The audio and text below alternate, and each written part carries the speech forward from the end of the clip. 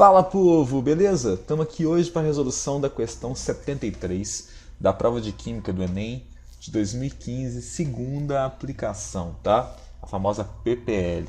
Bom, essa questão aqui hoje traz uma, uma questão fácil, diria eu, só que ela lembra um pouco uma questão que caiu em 2014 de biodiesel e de nomenclatura de ácidos graxos. A grande vantagem é que nessa questão aqui ele deu a dica de como fazer a nomenclatura e anotação para o nylon. Então ele fala assim, ó, o nylon é um polímero, uma poliamida, obtido pela reação do ácido adípico com a hexametilenodiamina. Então ácido carboxílico mais amina dá amida, como indicado no esquema reacional. Então aqui eu tenho o ácido hexanodioico. O ácido hexanodioico, pessoal, ele tem seis carbonos na sua cadeia, tá? Um, dois e mais quatro aqui que estão condensados desse jeitinho aqui. Eu posso apresentar assim, tá? Quando eu boto entre parênteses, são quatro unidades CH2 repetidas. Reagindo com a 1,6 de aminohexano, também tem 1, 2 mais 4, 6 carbonos na cadeia isso forma o nylon 66. O que quer dizer isso aqui? Ele falou, ó, na época da invenção desse composto foi proposta uma nomenclatura comercial baseada no número de átomos de carbono do ácido do diácido carboxílico, né, que é esse cara aqui, e do o, da diamina, que é essa camaradinha aqui. Então, o número de carbonos do ácido e da amina vem da nomenclatura da poliamida, que é o nylon, tá? Então, de acordo com a informação do texto, o nome comercial de uma poliamida resultante da reação do ácido butanodioico com o 1,2 de aminetano é.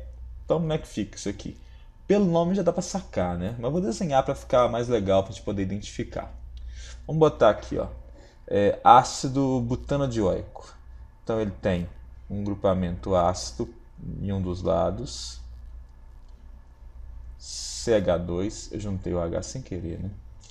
Foi mal. CH2, CH2, C dupla O, OH, butano dioico, mais a minha 1,2 de amino etano. Então tem um grupamento amino para um lado, etano quer dizer que é uma cadeia de dois carbonos e aí tem mais uma amina para cá. Beleza? Então, olha só. Basta contar os carbonos. Esse cara aqui tem quatro carbonos e esse camaradinho aqui tem dois carbonos. Então, o que ele vai gerar aqui vai ser o nylon 4, 2, que é a resposta do meu exercício. Para fazer o nylon 42 é simples, eu vou ter que reagir o grupo amino com o grupo é, OH do ácido, vai eliminar a água e o nitrogênio vai se ligar diretamente na carbonila, tal qual fiz aqui em cima. Então a resposta correta aqui seria a letra D, o nylon 42. Beleza?